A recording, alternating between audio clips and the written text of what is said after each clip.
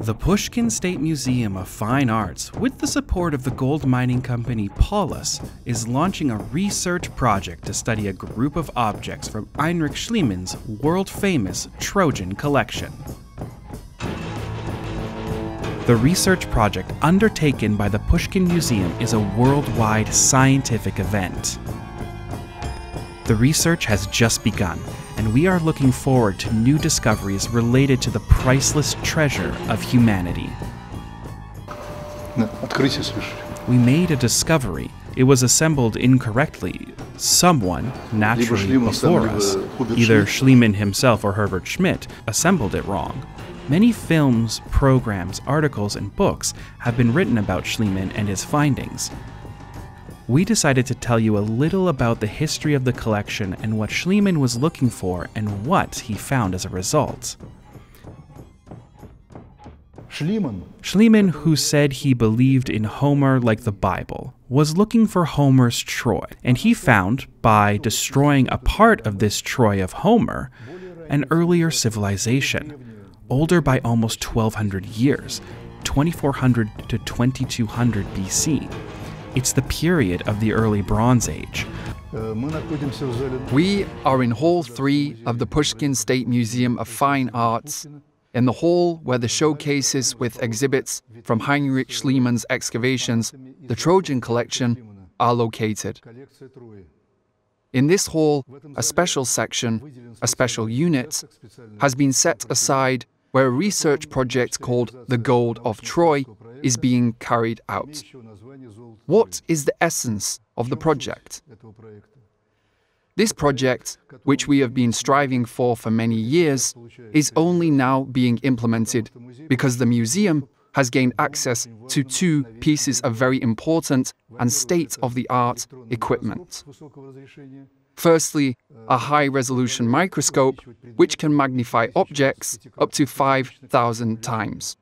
And the second device, which is not yet in the hall, but the museum already has it, is a spectrometer, which allows us to determine with the highest precision the composition of metal of which ancient objects are made.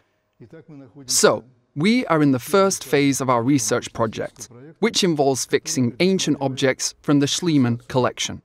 The task is to create a complete picture of the shape and features of these objects with appropriate magnification, times 20, times 30, sometimes times 50, taking the finest measurements, micrometric measurements.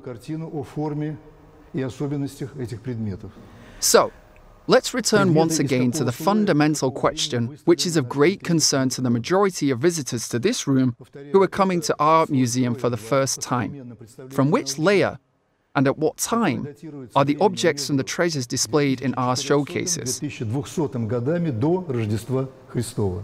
According to current scientific knowledge, the date of this layer is between 2400 and 2200 BC. Correspondingly, Troy 6 and 7, this monument was located much higher in level in the same hill, and it is almost 1200 years younger.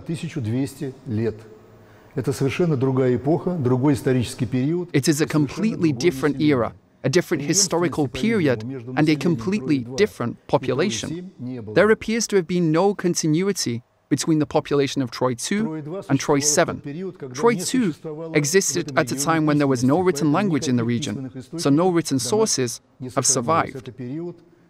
This period is referred to in science as the Early Bronze Age. Troy 6 to 7 is also Bronze Age, but the Late Bronze Age, a period much closer to us. And it is precisely the echoes of those events, which were connected with the siege and subsequent destruction of Troy 7, that are preserved by the legend which in oral form reached Homer. Schliemann, Schliemann, who said that he believed Homer to be the Bible, was looking specifically for Troy 7. He didn't know then that it was called Troy 7, a modern scientific notion. He was looking for Homer's Troy, and he found, by destroying parts of Homer's Troy, an earlier civilization, older by 1,200 years. Улюменен хемюри ахайюс талгет хекен. Pollus dift himus psychas aidi proiapsen. Героон аутус де гелория теохикюнесsin. Ой, йонойси те паси, диос де телея тубуле. Я сейчас прочел первые пять строчек Илиады, это заняло... I have just read the first five lines of the Iliad, and it took about 27 seconds. That is five or six seconds per line. What does that mean for us? It means that for a performance of the entire Iliad, it would take at least 24 hours, or rather more. This means that the performance of this poem took perhaps three or four days, if you consider that it was done all at once, so to speak, in one sitting. All the same, it was impossible to do it in one day or even in two days. But maybe that was not so. Maybe the Iliad was only performed in fragments, and it was performed in its entirety very, very rarely, in exceptional situations. Но очень важно понимать, что Илиада — это целостное произведение. Ну, это легко показать, Well, that is probably true for some eras, but it is very important to understand that the Iliad is a complete work. It's easy to demonstrate this if we remember where the Iliad begins. An old man by the name of Chryses comes to the Achaeans to get his daughter, whom the Achaeans had previously kidnapped, Chryseis, who then became a concubine for Agamemnon, the chief leader of the Greeks. And the Iliad ends with another man, Priam, coming to the Achaean camp to retrieve the body of his son Hector, who was killed by Achilles. Thus, it can be seen that the Iliad is a work framed by rage. Судьба героя начинается с его выбора. Twofold fates are bearing me toward the doom of death. If I abide here and war about the city of the Trojans, then lost is my home return, but my renown shall be imperishable. But if I return home to my dear native land, lost then is my glorious renown, yet shall my life long endure. Но будет мой век долголетен. Герой делает выбор. the hero chooses between glory, the Greeks called it kleos, and return, nostos. Kleos is imperishable glory, which was associated with immortality, according to the Greeks.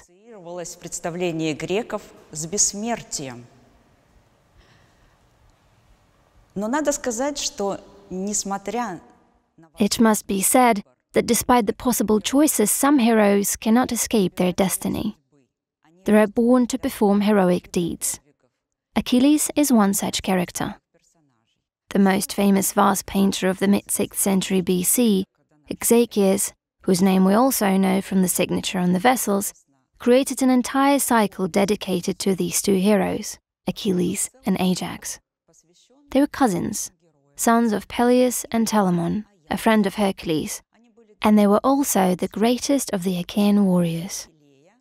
But Achilles was the son of the goddess and always came first, while Ajax had to settle for being second.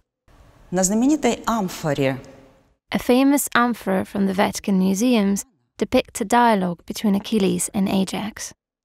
They lean over a playing board, rearrange their chips, and simultaneously roll dice to see how many steps a chip can be moved. And even in this, in a small game, Achilles wins. И даже в этом, в небольшой игре, Ахилл одерживает победу. Он говорит «Тессера». He says, Tessera. He gets four points, and Ajax says, Tria, just one point less, one move less. We know that these kinds of games were not just entertainment, but a kind of divination. А своего рода гаданием. Кто из героев первым погибнет, Which of the heroes will die and gain Kleos, glory, first? Achilles wins. He will die first, but only one step ahead of his cousin. мы знаем, что We know that only a few will return home, and some, like Agamemnon, will die at the hands of their loved ones back home. As Guy Hadrien once said, by destroying the Trojans, the Achaeans destroyed themselves. Троянцев ахейцы уничтожили себя. In his famous book, How to Kill a Dragon, Calvert Watkins deduces the key basic formula of Indo European poetics. A man who kills a dragon turns himself into a dragon. There is a later interpretation. He who kills will himself become a victim. And in the Iliad, there is a corresponding quote Trojans and Achaeans have a share of Ares' battle fury. Общий у смертных арей, и разящего он поражает. Итак, гомеровский вопрос – это вопрос об авторстве So, the Homeric question is the question of the authorship of the two poems, the Iliad and the Odyssey. Who and under what conditions created them? Maybe it was the same person, maybe two people, maybe a huge number of people who each contributed something different to the work, or these works, as they were both being performed over the centuries. What is it? And how was it created? We, at least most scholars agree, know fairly well today. But what are they? The Iliad and the Odyssey are both oral, improvisational epics. Это устный импровизационный эпос. Итак, кто же такой Гомер? Согласно устной теории, это So, who is Homer? According to the oral theory, he is a narrator or maybe two separate narrators of the Iliad and the Odyssey who made that oral improvisation that was written down. In other words, the person we call Homer was an improviser or two whose works resulted in the creation of these poems, the Iliad and the Odyssey. In a sense, Homer can be compared to modern artists of the spoken word genre, to stand up comedians or other people who speak before an audience. But there is a very big difference.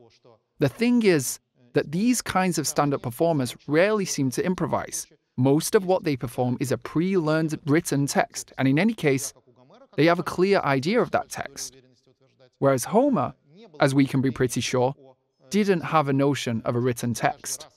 Every time he performed, a poem, for example, about the Trojan War, or the travels of Odyssey, or any other poem, the poem was born anew and it could differ largely in volume from what had happened in other performances, because to perform a poem for three or four days is very difficult, and probably rarely would there have been good opportunities for it.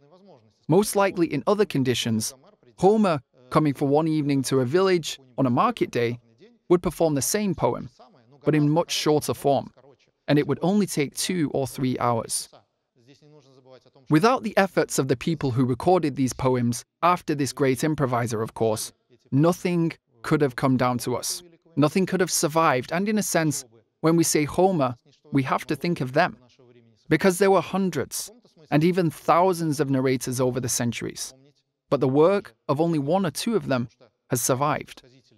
This was due to those who were able to write down these works, to stop the improvisation, to stop the constant rebirth of these stories, and in some special great moment to capture them in an unchanged form. Schliemann, who tried to find Troy 7 and realized that he had destroyed it, continued excavating and, indeed, dug the layers of both Troy 6 and Troy 7, found objects related to this period, and found a layer of fire which refers to this time. His work was continued by his pupil and assistant Dörpfeld, a German archaeologist. Later, the American explorer Blegen dug on the Trojan Hill, followed by a number of scholars, and finally, in the 1990s and early 2000s, Manfred Korfmann, a professor at the University of Tübingen, and then Professor Ernst Pernicka of the same university, dug there. Все эти ученые внесли огромный вклад в изучение All of these scholars have made immense contributions to the study of the Hisarlik Hill, this unique archaeological site, and have contributed significantly to museum collections and have also solved the question of where Troy was located. Он примерно 380 метров в длину since the hill itself has relatively modest dimensions, about 380 meters in length and 280 meters in cross section, most of Homer's critics said, Where were the thousands and tens of thousands of soldiers who defended it placed in this small fortress? Where could it all have been? None of this is true. It is all a legend. Manfred Korfmann, as I said, the German researcher, professor at the University of Tübingen, during the excavations on the hill and in the plain itself adjacent to the hill, found the remains of a huge settlement, enormous for those days, about 800 to 900 meters in cross section. It had an oval shape adjoining the hill, and it is clear that this was the ancient city of Troy in 6 and 7, and Hisarlik Hill was its acropolis with palaces, rooms, and buildings inhabited by the nobility and the king of this ancient city. On the territory enclosed by a ditch carved in the rock that framed the perimeter of the 800 meter across settlement, there were the remains of ancient houses inhabited by the population of the ancient city of Troy 7. And naturally, thousands of warriors who defended this city could have been stationed there. Thus, the question of the Trojan War pertaining to Troy 7 Homer's Troy has been removed. The tradition, the legend preserved to us in Homer's poems are actually real events which genuinely took place in the 12th or early 11th century BC and which are connected with a very serious problem, the so called Late Bronze Age catastrophe, which entailed a great resettlement of peoples. These are the sea peoples. Народы моря — это собирательное... Who are the sea peoples? This is the collective designation for the northern tribes who invaded Egypt from the middle of the 14th century until the first decade of the 12th century BC. This designation does not appear in Egyptian texts. It is artificial and was first used by French Egyptologist Emmanuel de Rougé in 1867. The Egyptians themselves called the sea peoples as the Northmen who came from all countries, or the northern strangers who were on their islands amid the Great Green. The Egyptians called the sea in general, whether it was the Mediterranean or the Red Sea, the Great Green. For the first time, the sea peoples, or rather individual groups of pirates and mercenaries, are found in the Akhetaten archives. Akhetaten is the capital of the famous pharaoh Akhenaten, who introduced monotheism to Egypt. Так вот, впервые народы моря встречаются в этих архивах и упоминаются как пираты. In these archives, they are first mentioned as pirates or mercenaries. The real threat to Egypt and the whole eastern Mediterranean was in 1219. We know that in the fifth year of the reign of the son of Ramesses, the great pharaoh Merneptah, the Libyans invaded Egypt under the leadership of their king Moriah. However, the Libyans did not march alone.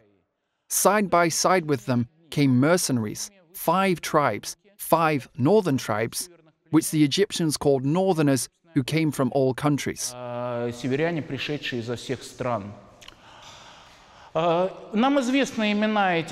We know the names of these five tribes.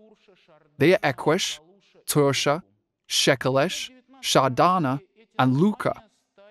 As early as in the 19th century, these names began to be compared with the ethnonyms known from ancient sources, and it became clear that the main tribes among these northerners were the Ekwesh and Tursha.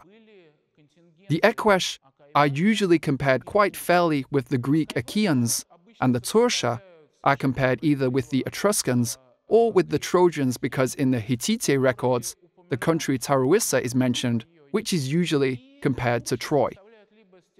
Thus, we see that a number of peoples mentioned by Homer are found in the Egyptian inscriptions. In a six hour battle somewhere at Perea on the western frontier in the Nile Delta, Merneptah managed to defeat both the Libyans and the Northmen. The Libyans lost over 6,000 men, and the Northmen over 2,000. Egypt experienced the next Sea Peoples invasion almost 30 years later. However, during these 30 years, the situation in the eastern Mediterranean grew worse and worse. We know from the Hittite records of enemy ships that plied the expanse of the Mediterranean Sea, constantly threatening the cities of the Levant and Cyprus. Disaster broke out in 1190 BC during the reign of the second pharaoh of the 20th dynasty, Ramesses III. In his burial temple on the west bank of Thebes in Medinet Habu, there is the following inscription The foreign countries made a conspiracy in their islands all at once, the lands were removed and scattered in the fray. No land could stand before their arms. From Hati, Kode, Karchemish, Azawa, and Alashia on being cut off at one time. A camp was set up in Amuru. They desolated its people, and its land was like that which has never come into being. They were coming forward towards Egypt, while the flame was prepared before them. Their confederation was the Peliset, Tiaka, Shekelesh, Denyen, and Weshesh, lands united. They laid their hands upon the land as far as the circuits of the earth, their hearts confident and trusting. Our plans will succeed.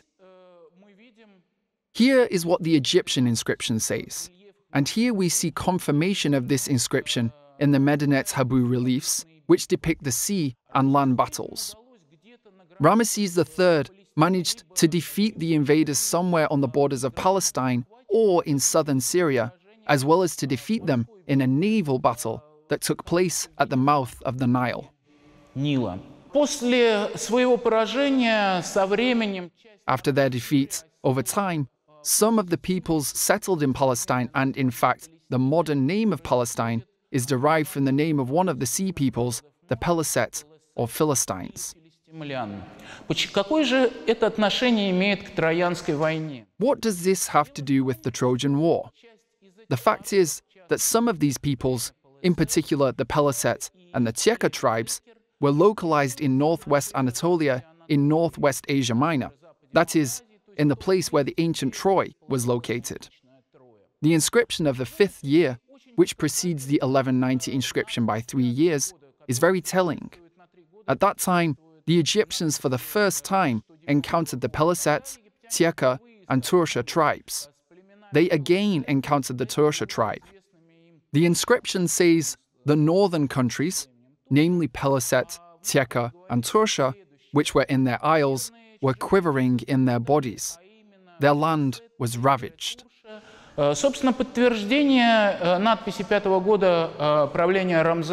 The confirmation of the inscription of the fifth year of the reign of Ramesses III is also found in his inscription of the eighth year, which said that the northern lands were destroyed. Their villages and people turned to ash. Their chiefs went forth to the land of Egypt. к земле возлюбленной, то есть Египту. Таким образом, мы видим, что перед нами свидетельство о войне где-то... Thus we see that we have before us evidence of war somewhere in the regions inhabited by these three tribes.